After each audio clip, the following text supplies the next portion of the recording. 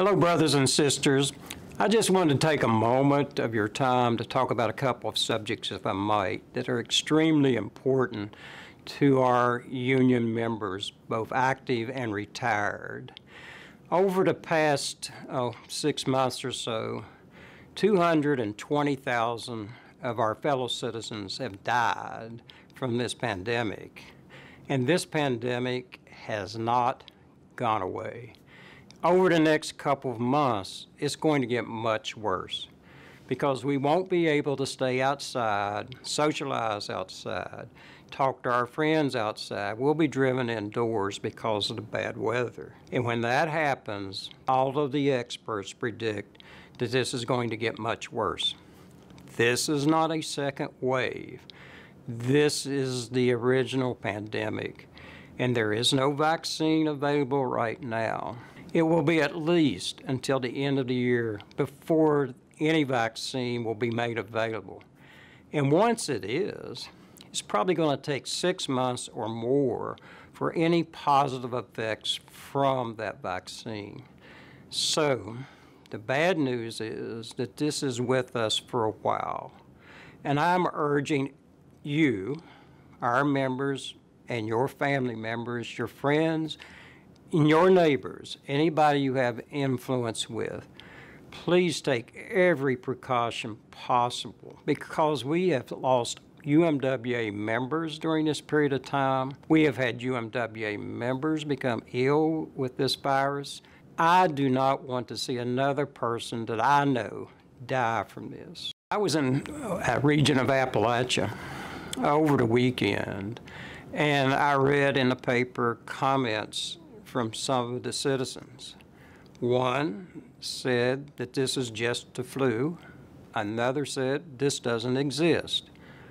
Brothers and sisters, both of those comments are wrong. We have to be honest with one another, and part of my job is to tell you that. We can stay safe. We need to get by another few months here. And when this vaccine is available, if the doctors, the scientists tell us it will work, you'll hear me urging you to, to get the vaccine. But we can't do that yet because it's not available. But let me tell you something else that's sick and I need to be honest about that. And that's the coal industry, and quite frankly, the economy at large. Millions and millions of our brothers and sisters in other unions have lost their jobs. There's somewhere in the neighborhood of 30 to 40 million people that had a job previously that do not now. Unemployment is running out. Congress has not extended the benefits from the original legislation it looks like it's going to be some time after the election before anyone deals with this. You've heard me say Congress act for our brothers and sisters in other industries. I'm doing that right now. Please, Congress, whether you're Republicans, Democrats, please think about our fellow citizens out there. We cannot stand additional unemployment. However, it looks like that may not happen. So let me urge all of us to think about where we are right now. I'm going to urge you to vote here shortly, and I'm not trying to tell you who to vote for by any means, because we have not endorsed any particular candidate for President of the United States. But this year, we have seen a 40% decline in the utilization of coal.